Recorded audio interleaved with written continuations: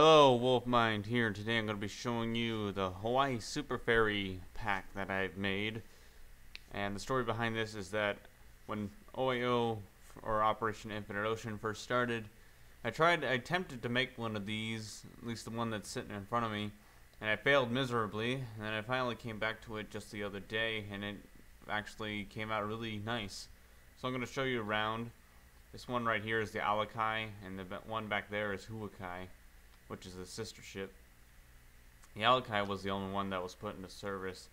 Uh, the story, their history on the Hawaii Super Ferries is that they were, I think it started around, started service in 2005, and uh, what happened is that the Hawaiian market didn't really like having like a ferry because they were concerned. Well, one of the concerns was about hitting whales because these are a high-speed ferry. You can't really remove, yeah, maneuver them that fast. And another it's just that the Hawaiian locals don't really like change. They didn't really like the idea of being connected to other islands. So that's one of the that's a little brief history. So they were eventually ran uh, ran bankrupt, and I believe what happened recently is the military bought them and they're using them. I know that they were used in the Haiti relief in back in 2008. So that's all on the history I know of them, and now I'm going to get on to a little tour of it.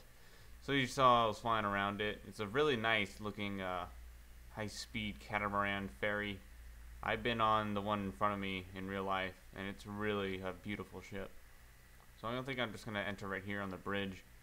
It, it isn't furnished at all, but I'll just give you a little tour. So we've got the little bridge right here.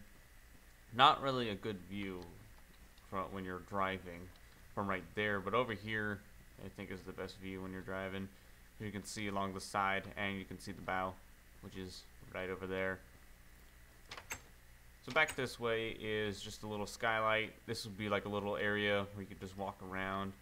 Because you're going from island to island you just walk around and enjoy the view of going by or enjoy the view of the water. So I think I'm gonna go down here this is the main deck for all passengers. Right here is a big like uh, seating area, and then there'd be like a cafe restaurant back there, right where that little hole is. This would be like chairs and stuff, and all kinds of tables and lots of people. This uh, this yeah, this ferry has a lot of capacity in it, which you'll see down in the car area. And then this is just more area that would be for seating and lounging as you would cruise to your destination. So I'm going to go down to the car deck, which is right here. You can kind of see the logos coming through. I couldn't make it. I tried to make it so that it would cover the logos, but I actually liked how it looked, so it didn't bother me. I'll just hop down here. You can see just just the inside of the inside of one of the side pockets of it, and it's just the same thing over here. So a high-speed catamaran, great looking ship, as I said before. So we got all kinds of little lamp posts around. Got like a little, so this is where like the loading area would be. There'd be like a ramp when you're at a port. And then through this door is just a little side area you can just look out onto. Let me just make a day here real quick. So that uh, I'm going to head over to the Huakai now, which is just the same exact ship, just uh, repainted. It had yellow instead of the crayon or crayon blue. These little things on the side are are supposed to be manta rays. I'll flip in a picture of the actual ship, like at the beginning and stuff. So right here we have the Huakai, which is a great looking ship just as well. Uh, the blue on these ships, if you'll you'll look in a picture, it'll it's a dark blue instead of like this blue right here. But since there is no dark blue in Minecraft besides Obsidian, but I didn't really like Obsidian, I decided to make it just the light blue, which still looks very nice.